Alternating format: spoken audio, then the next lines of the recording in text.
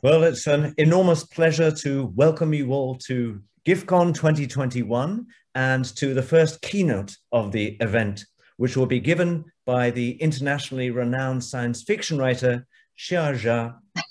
Uh, and um, I'd like to begin by just mentioning a, a word of thanks. Um, Xia was convinced that this was all happening at six o'clock in Chinatown, uh, China time, and uh, um, has, uh, what, but, but, the wonderful Guang Zhao, who, who is in yes. the UK, was able to inform her that it's actually happening at five o'clock. So thanks to Guang Zhao, we are able to have this uh, this keynote. Uh, uh, if he's if he's watching, I'd like to to, to, to thank um, thank them very much. Indeed. He's watching. Wonderful. so Professor Wang Yao, uh, known around the world as Xia Jia, uh, is, uh, is going to be talking to us very shortly. But uh, before that, I'd like to begin by thanking the University of Glasgow's Confucius Institute for its financial and practical support in enabling us to welcome Professor Wang to Glasgow, albeit in virtual form. Uh, I hope one day it'll be in real form. Uh, in particular, I'd like to uh, acknowledge the, the great help of Dr. Nathan Woolley, Wang Yao is uh, Associate Professor of Chinese Literature at Xi'an uh, Jiaotong University and was a visiting scholar at the University of California, Riverside from May 2019 to May 2020. Uh, um, I imagine you worked with uh, um, Nalo, uh, Nalo Hopkinson while you were there. I, I hope so. Um, she started out by majoring in the atmospheric sciences at Beijing University and went on to take a master's in film studies and gain a PhD in comparative literature.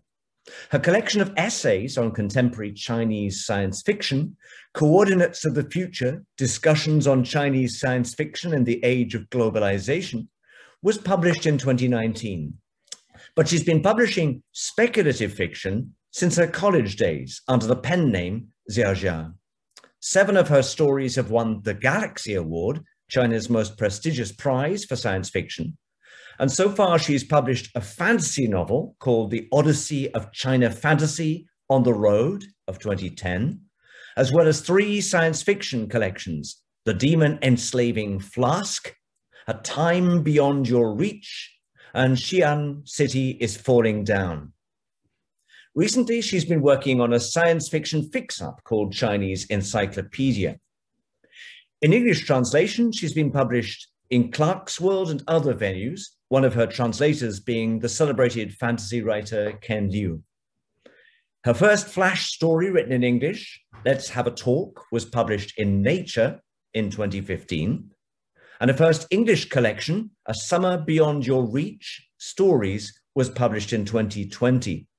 She's also engaged in other science fiction related works, including academic research, translation, screenwriting, editing, and the teaching of creative writing.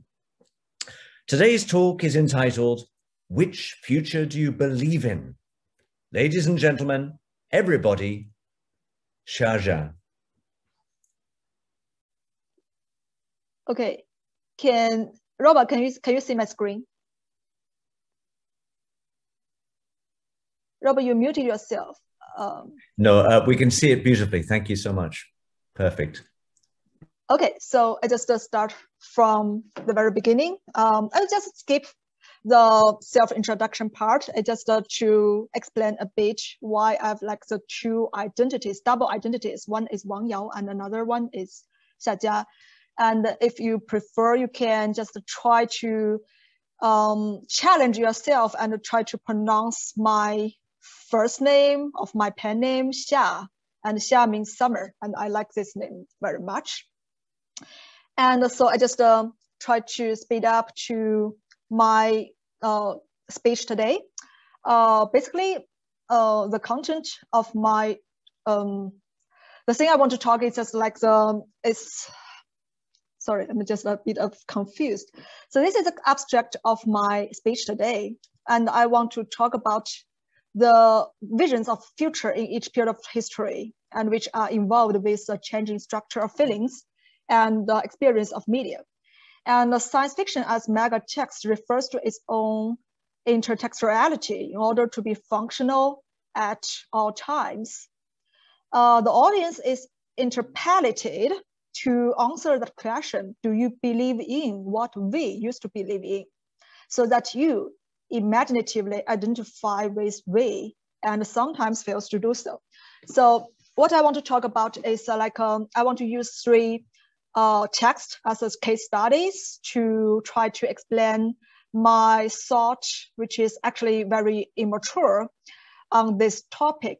And uh, finally, I want to use this approach as a, um, as a maybe workable way to discuss about contemporary Chinese science fiction, especially its uh, writing modes in different periods of time. Okay, so let's start from the first one. Uh, this is uh, Tomorrowland, the movie by Disney movie. Uh, so in this movie, uh, a teenage, the, the, the main character, uh, her name is Casey. She's a teenage space enthusiast. She happens to get a pin, and while touching it, she finds herself in Tomorrowland, a futuristic cityscape. And next I will try to um, share my video player to show part of this uh, this video. But where is it? Let me try to find it. So uh, in this five minutes clip, you can see that Casey um, just uh, we follow we, we as audience follow Casey to experience a series of magical things, including streamlined architecture, vertical forests, jetpacks, Buck Rogers outfits, levitating elevated vehicles, floating swimming pools, reusable rockets, etc. And her adventure is cut short when the pain, uh, the pain's battery runs out. Later, she gets to know that such Tomorrowland exists in a parallel timeline, which have been recruiting dreamers to join in. So this tour in Tomorrowland she experienced is actually an immersive VR promotional video. Okay, next page. However, when Casey eventually travels to Tomorrowland, she finds it in a state of decay. The cynical governor, David Nix, as you can see in this slide, the picture, this is David. Uh, he informs her that there was a machine which can accurately predict the worldwide catastrophe. David tried to prevent the future by, projecting the dark images to humanity as a warning. Instead, uh, the humanity they just uh, embraced the uh, the catastrophic future, refusing to act to make a better future, which created a self-fulfilling uh, prophecy. Um, so, because Casey refuses to accept the world will end, which causes the future images to temporarily alter. In this case, the key to save humanity is to stop the doom consciousness to be spreaded. Successfully destroying the machine, Casey and her companions take the place of David to govern Tomorrowland, distribute the pains and recruit new dreamers, the younger dreamers, for the construction of Tomorrowland. Okay. And uh, Actually, Tomorrowland, this movie follows the very, very conventional Disney theme, Do You Believe In? But here, magic is replaced by another concept, which is the future dream once upon a time we used to believe in. As Brad Bird, the director of the movie, states, when we were little, people had a very positive idea about the future, even though there were bad things going on in the world but there was a sense we could overcome them. And yet now we act like we are passengers on a bus with no say in where it is going, with no uh, realization that we collectively write the future every day and can make it so much better than it otherwise would be. So this future dream is uh, in this movie is traced back to the 1950s to 1960s when the America dream represented by Disney's culture industrial empire got to its peak. Tomorrowland actually is greatly inspired by Epcot, which is experimental prototype community of tomorrow, an unfinished concept for a planned community developed by Walt Disney in the 1960s. Its purpose was to draw upon the latest technology and innovation from American industry, to be a showcase to the world for the ingenuity and the uh, imagination of American free enterprise. In October 1966, a 25 minute long film was shot wherein Walt Disney explains the concept and vision of Epcot.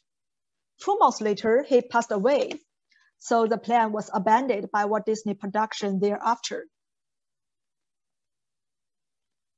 Except for Epcot, Tomorrowland absorbs a series of other interrelated cultural elements, including the 1964 World's Fair and uh, space age memes and uh, pop science fiction iconography. On January 23rd, 2013, uh, Brad Bird tweeted a picture showing a frayed cardboard box labeled 1952, supposedly uncovered in the Walt Disney Company archives. As you can see uh, in my slides, the picture is a 1952 box picture. And uh, this box contains items like uh, photographs of Walt Disney, uh, Technicolor film, uh, envelopes, a vinyl record, and a book entitled Model Research, the National Advisory Committee for Aeronautic, Aeronautics 1915 to 1958. Um, and uh, this committee actually is the precursor of NASA. And there's another one I think most of you should be very, very familiar with, which is a 1928 copy of Amazing Stories. And uh, of course, this box was just a little something for promoting the project with 1952 as a working title by them. Its purpose was to arouse feelings of mysterious as well as nostalgia. And uh, the issue of Amazing Story is notable for introducing the Buck Rogers character. And uh, its cover, illustrated by Frank R. Paul, shows a jetpack wearing hero in the Skylark of Space. So that's maybe probably the most famous uh, cover in the history of science fiction.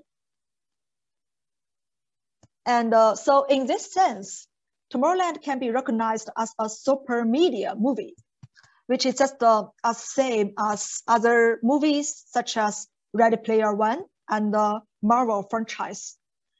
So uh, all of these movies intend to establish a cultural identity by referring to the audience common experiences of certain media. It interpellates the audience to give a positive answer to that question. Do you believe in what we used to believe in? Therefore, uh, all of this lonely individual you imaginatively identify with the collective we.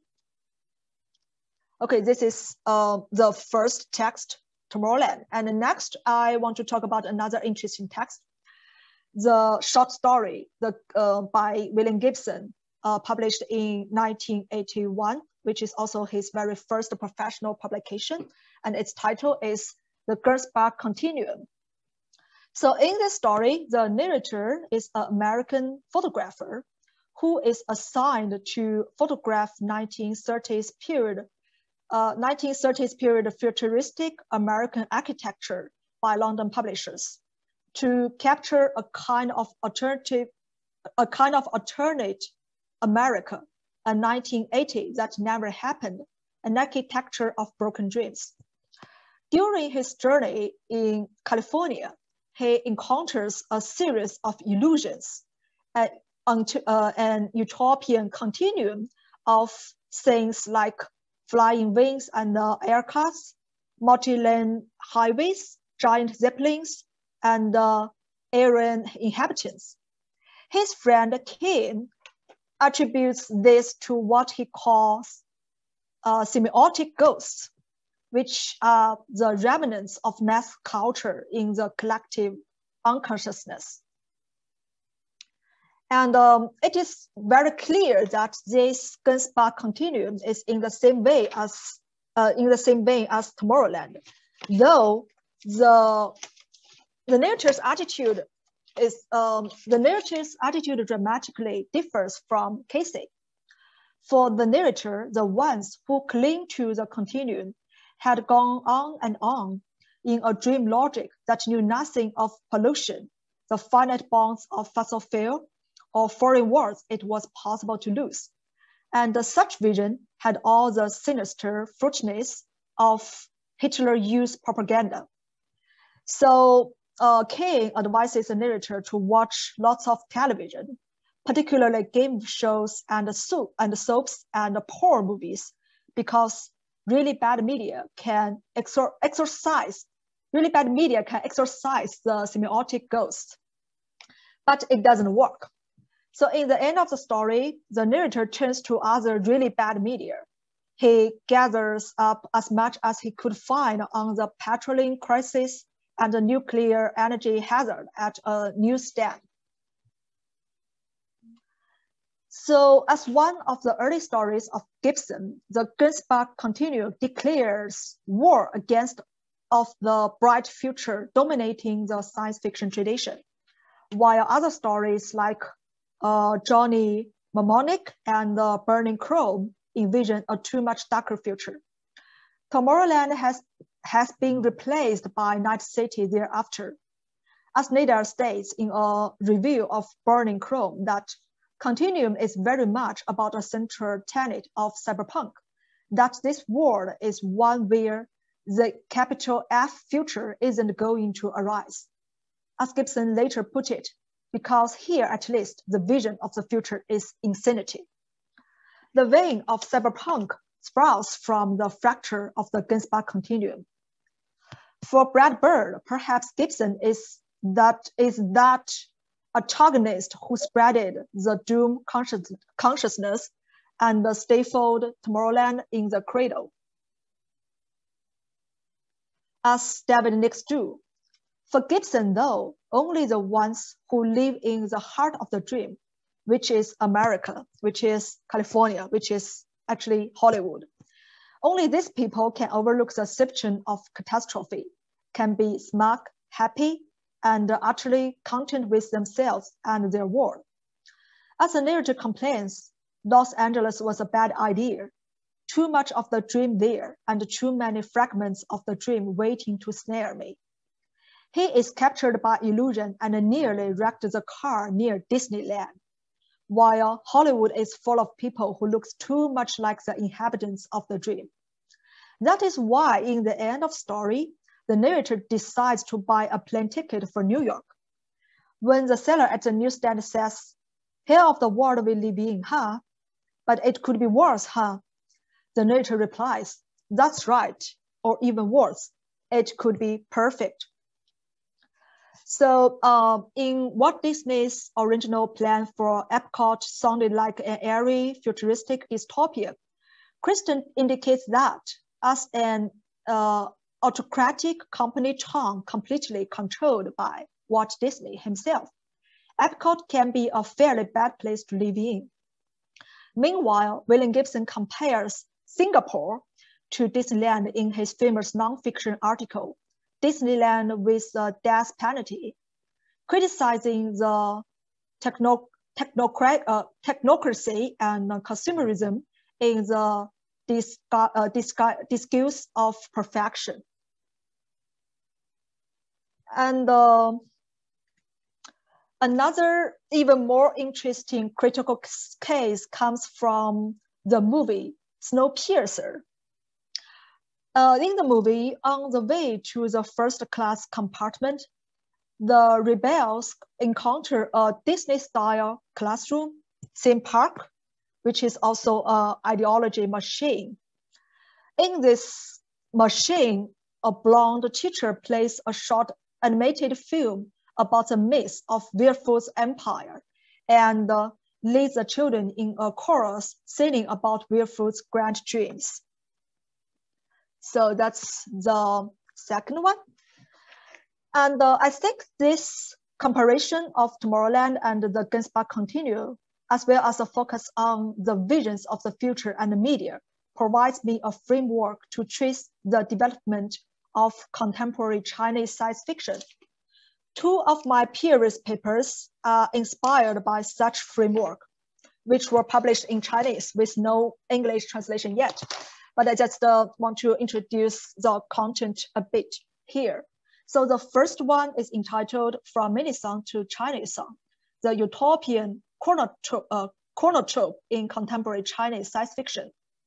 In this paper, I tried to analyze a typical writing mode in contemporary Chinese science fiction, an utopian future vision manifesting from 1950s to 1970s, as well as its most frequent images, uh, such as man-made song, Mars, Science City, Future City, Citizens of Universe, Community of New People, etc.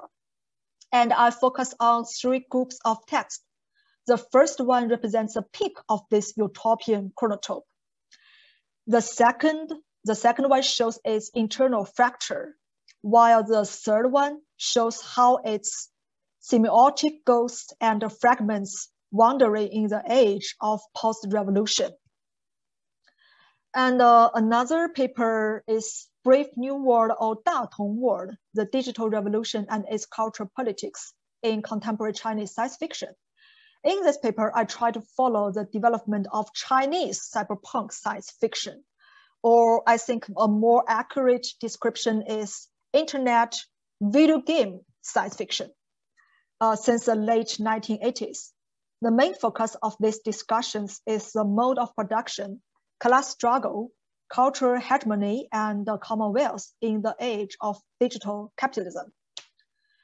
Behind the uh, behind these two groups of discussions, a deeper problematic is, in contemporary Chinese science fiction writing, how could this question of do you believe in be posed? How the audience in the uh, how the audience be interpellated to identify this we, and how such interpellation fails.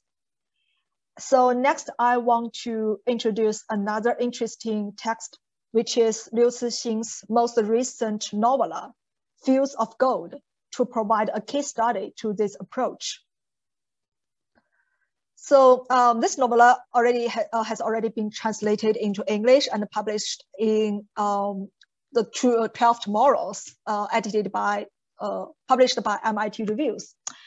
So uh, the novel tells a rescue operation in space that lasts from 2043 to 2062.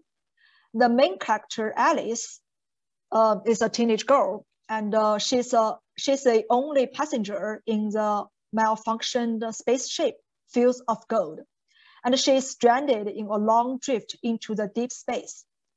Alice uses a hibernating drug to prolong, his, uh, to prolong her survival.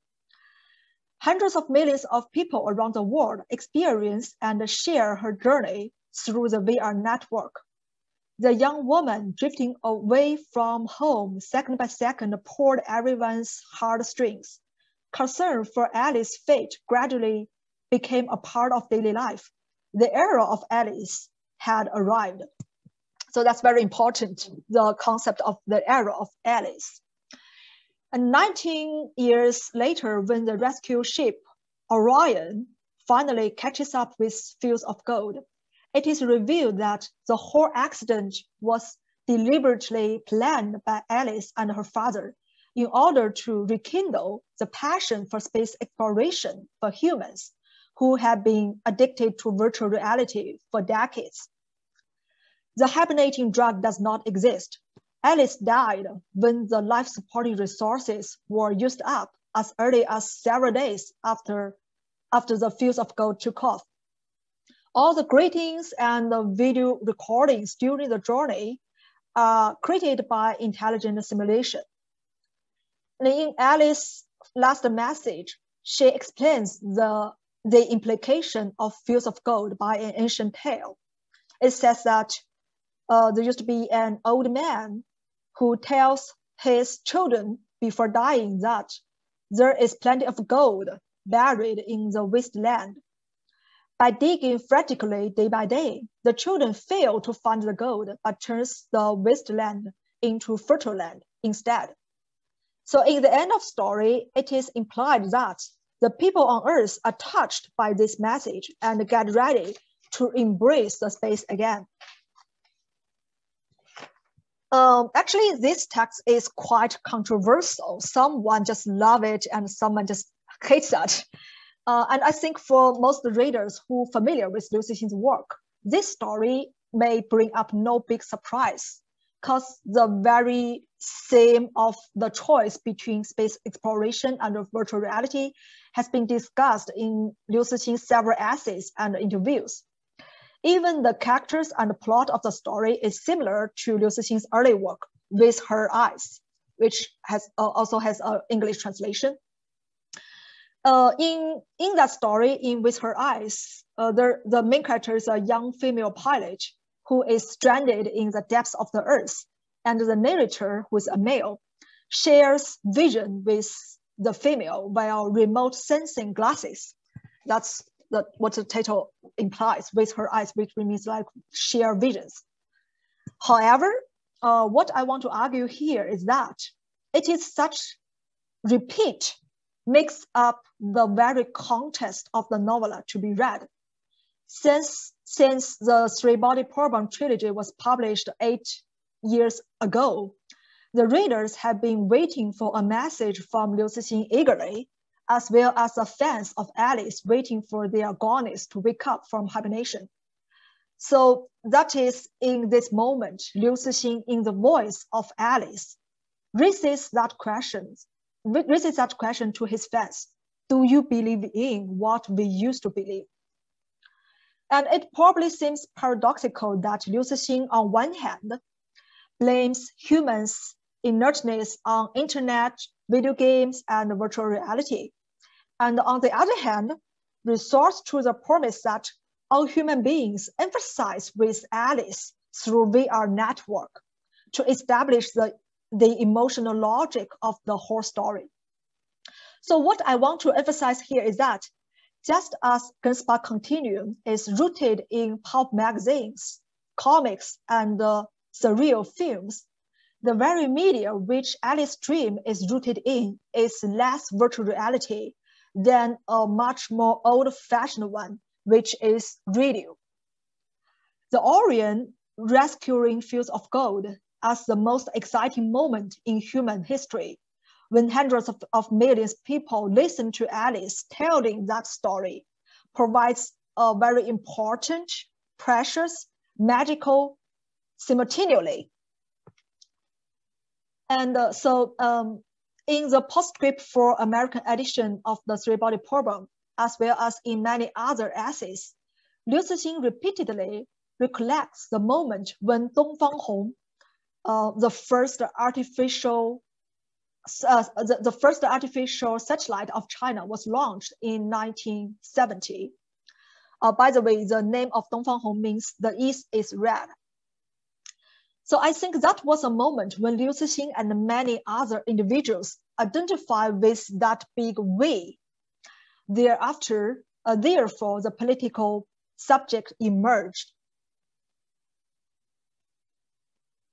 And such moment actually manifest in Liu Cixin's works again and again. Uh, for example, in his very first novel, unpublished work, China 2185, a female national leader wants the people and persuaded them to vote for their rights through the National Computer Network. In his later work, Supernova Era, the young Chinese leaders calls on the children addicted in virtual space to unite again, uh, to unite against foreign invaders. And the children are called upon inst instantly as a core critical, uh, crystal, crystallized in, as a core crystallized into the diamond.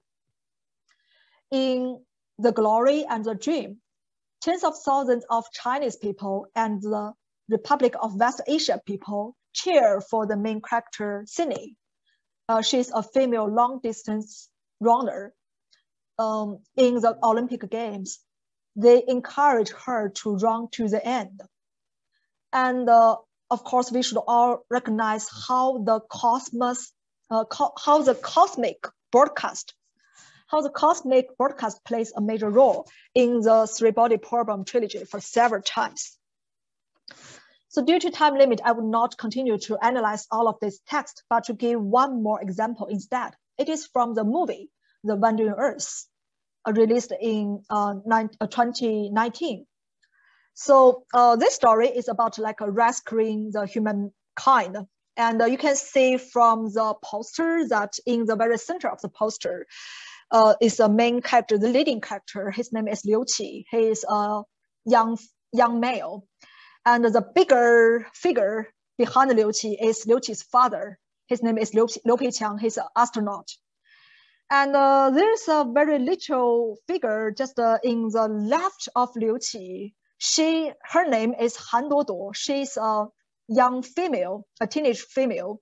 She is adopted by Liu Peiqiang, so she's a kind of like a Liu Qi's stepsister. And she's actually not very important in the whole storyline, but in the very end of the story, she played a very important role. And uh, that moment is a crucial moment when all the rescue operations fail and all humans are overwhelmed by despair. And uh, just at that moment, the teenage girl Han Duoduo calls for help through the global broadcast. So next I will uh, play a short video from this movie to show how this broadcast, uh, how this broadcast uh, plays a main function in this movie to my slides. So we can see that this broadcast just uh, transform the plot. We just uh, play a very important uh, role in this plot to persuade the audience that the human kind still wants to be rescued. And uh, uh, here we can see that actually uh, this movie, uh, as many of you may already know, that is adapted from Liu Cixin's another novella, The Wandering Earth.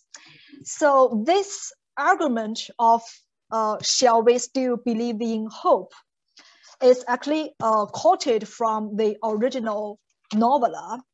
but in the novella, it is stated by the father, the Liu Peiqiang's role, to his family not a very public speech, speech, but a very personal speech. So we can compare these two uh, argument and uh, we can see that it just, uh, just repeats the same meaning. But what is important here is that when this opinion, this we should believe in hope, is posed to mobilize the people all of the all of the world, it is obvious it is obvious that the proper one to send out the message must be Han Duoduo the teenage girl, just as um, Casey in Tomorrowland or Alice in the Fields of Gold, not the leading character Liu, Liu Qi, not Liu Peiqiang, even though the character of Liu Peiqiang is played, is casted by the most influential tough guy actor Wu Jing. And uh, this thing actually is controversial as well as Fields of Gold. Some audience just uh, criticize it as affected and uh, unpractical, while some others, including me, are deeply touched by this thing.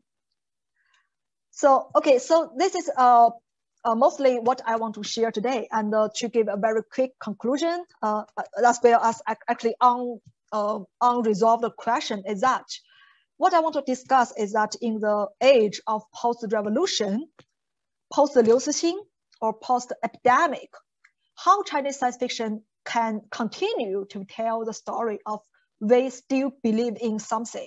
The something can be future, can be hope, or be something what we used to believe in. So here uh, in the right of the slide, there's uh, um, my draw, one of my drawings. And uh, in the drawing, you can see there's a beautiful um, teenage girl who is watching the red train passing the horizon. So for me, I think the red train represents hope. And uh, where can we find it? That's an un, uh, unresolved question. And uh, uh, I want to say that in my future research on science fiction. And uh, as well as in my future science fiction writing, I will continue to think about this question and to try to give answer. So that's the end of my speech. Thank you very much. Okay, just uh, stop.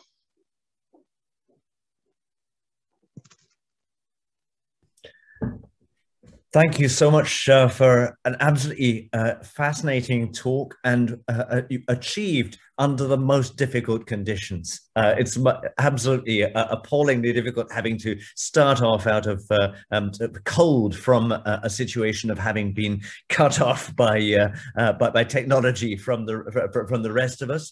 but you gathered it together magnificently. Um, what I drew from it in a um, was a sense of the changing structure of feelings, which you mentioned near the beginning of your talk.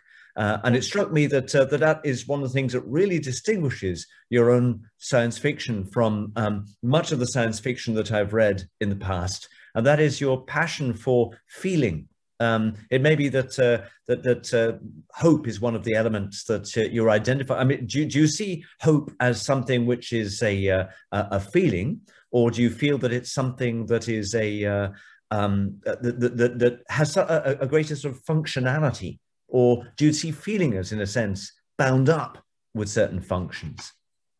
Yeah, that's a very good question, and actually a bit complicated, but uh, just yes. to try yes. to make it easier uh, to answer that I think that hope is, is something we can hardly imagine in this age. As I said that in this age of uh, digital um, capitalism or late capitalism uh, or the post-revolution, the age of post-revolution. So it's very hard to imagine where can we find that hope.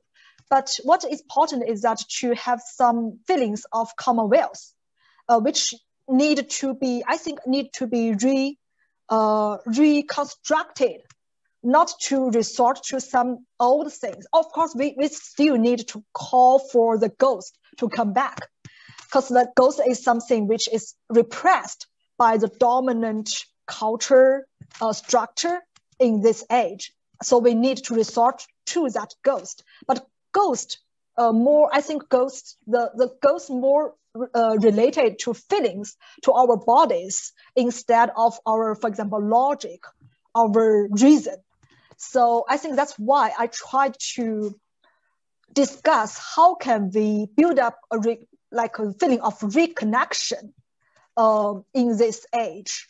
Uh, sometimes I may need to uh, to do to, to do so through like technological methods and sometimes we had to think about something other than the technology, or can we find ways to reuse the technologies, not just restricted to the ways which the designers, the uh, entrepreneurs who designed that technologies want us to use the technologies in that way. So that's my answer. Mm. Thank you so much. Uh, and now I would have liked to have uh, given the opportunity to our, uh, our audience to uh, ask questions as well. But I'm afraid we're going to have draw to draw to a close because um, time is against us and the next panels start at 11.15. Um, but I'm going to see if we can find a way to send questions from the audience to you, which you might be able to uh, to answer perhaps by uh, by some other means than in, in the content. I think, I think uh, maybe people want to post questions on Discord and then we can collect them and maybe send them over and, and, and find a way to sort of respond to those. But just to say thank you as well, that was absolutely fascinating fascinating. Thank you. Thank you so okay. much. And it was deeply moving as well. Okay, right. So I'm going to end this session now, and there's just about enough time to move to our uh, to our first uh, panels for the day. Thanks again to Xia Jia for a brilliant, brilliant talk. Um, and yes, we'll see you all very soon. Bye bye. Thank you very much. Bye bye. Bye bye.